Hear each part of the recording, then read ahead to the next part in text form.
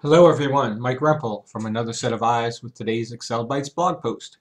Today we're going to take a look at ceilings and floors. No, we're not getting into the architectural business, but we're going to take a look at the functions in Excel called ceiling and floor. If you remember a while back, we did one on the mod function.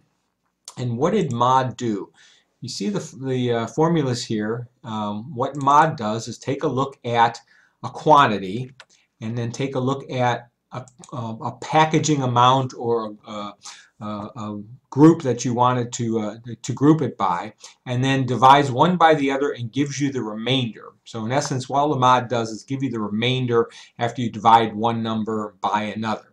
So in this case, here's my quantity of inventory of these items. Here's my package quantity. When I divide 1390 by 12, I have a 10 remainder left over instead of being able to have a complete package of 12. So ceiling and floor have a slight variation to that but can give you very similar results. In this case, if I want to take the um, ceiling function and using this number and this significance and say, okay, what do I need to do or what number do I need to raise this to in order to give me equal packages of 12 and I copy that down you'll notice that the difference between the ceiling calculation and my quantity is going to be what I need to add to the remainder to get it back up to the full quantity. I had 10 left. If I add 2, I'll get it up to the full packaging of 12.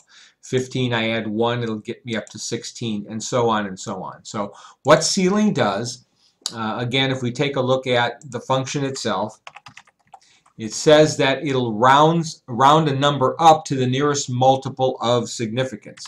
So if this is the number I have, and this is my number of significance, it will round it up so I have even groups of my packaging, 12, 16, 48, etc.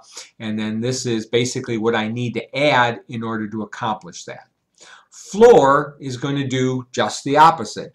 If we take a look at the floor function, it says rounds the number down to the nearest multiple of significance.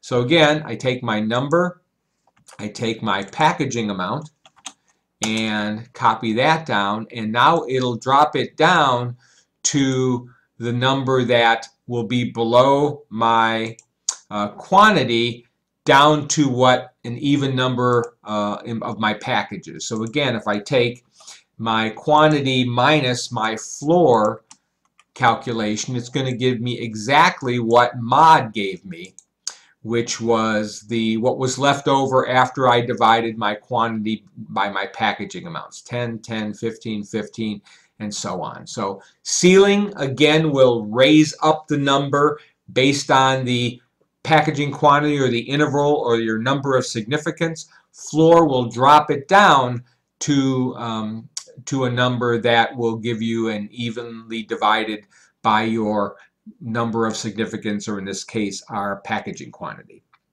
And there you go, ceiling and floor, and how they are similar to the mod function. Hope that's useful to you in your business or in your life. And if you'd like to see more, please go to my blog, excel-bytes.com, and feel free to subscribe. Happy excelling!